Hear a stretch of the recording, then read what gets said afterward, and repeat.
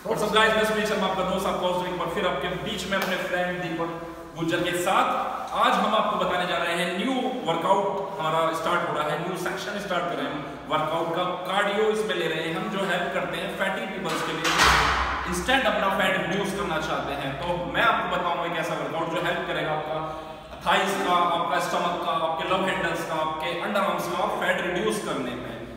इसका नाम है मैट पुशअप मैट पुश करना है दीपक आपको दिखाएँगे मैट पुश का तरीका और एग्जैक्ट वे स्टमक आपको बिल्कुल टाइट रखना है। बॉडी बिल्कुल इसमें स्ट्रेट रहनी है। फ़र्स्ट जो फ़ेज़ होगा वो स्लो लेने के दिखाएँगे आपको। Slow stomach tight exhale inhale करने के वे करते हैं आपको। प्रेशर सारा आज हमारा बस टर्न उसके बाद टर्न कर देना है।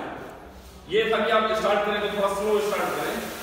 थोड़ा स्लो स्टार्ट करें सर थोड़ा तेज लेके जाए, थोड़ा तेज। Fast fast fast fast fast अब जब आप ट्रेन हो जाते हैं और एक अच्छे में मेरे रहते हैं क्योंकि कैलोरी हो जाते हैं बर्न होती है अब भी आपको करके जाएँगे फास्ट एक्सरसाइज में करना कैसे है फास्ट बहुत अच्छे fast and move down turn stomach tight exhale inhale continue में करते रहना है बॉडी पूरी स्पीड रहेगी और फुल फास्ट तो ये था मैट पुश करने का तरीका, जो कार्डियो के एक कार्डियो के सेट में आता है, जो हेल्प करता है आपका ओवरऑल बॉडी बॉडी का फैट रिड्यूस करने में।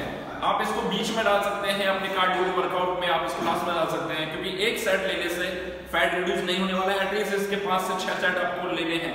घर में जिम में ऑफ़िस में, अगर जिम है ऑफ़िस में तो ऑफ़िस में भी आउटिंग में कर सकते हो इजीली बन जाता है, कोई भी मैट लेना है प्लेट उसके ऊपर रखनी है देन उसको पुश करना है। तो बॉयज़ अगर मेरा वर्कआउट आपको पसंद आया, मेरी वीडियो आपको पसंद आई तो लाइक और सब्सक्राइब करना ना भूलें, और बेल आइकन को प्रेस करना ना भूलें।